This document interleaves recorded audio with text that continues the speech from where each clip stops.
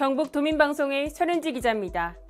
대구대학교가 반도체 기업 특화 취업 박람회를 열고 반도체 분야 전문 인력 양성에 적극 나서고 있습니다.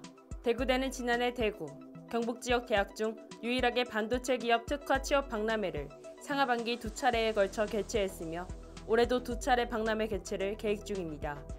대구대 대학 일자리 플러스 센터는 24일 공과대학과 정보통신대학에서 올해 첫 반도체 기업 특화 취업 박람회를 열었습니다. 또한 대구대가 수행 중인 차세대 반도체 혁신 공유대학 사업에 대해 안내하고 반도체 직무 아카데미 학생 모집을 위한 부스도 운영했습니다.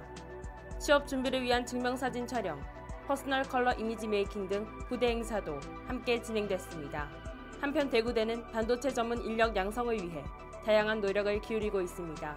대구대는 지난 2021년 교육부 및 한국연구재단이 디지털 신기술, 인재양성 혁신 공유대학 사업에 선정돼 서울대 등 7개 교와 함께 차세대 반도체의 컨소시엄 대학으로 사업을 수행하고 있습니다. 이 밖에 대구대는 2017년부터 채용 연계형 반도체 직무교육 프로그램인 반도체 직무 아카데미를 운영하고 있습니다. 이 프로그램을 통해 지난해 교육생 55명 중 45명이 취업했으며 지금까지 총 361명이 취업하는 성과를 거뒀습니다.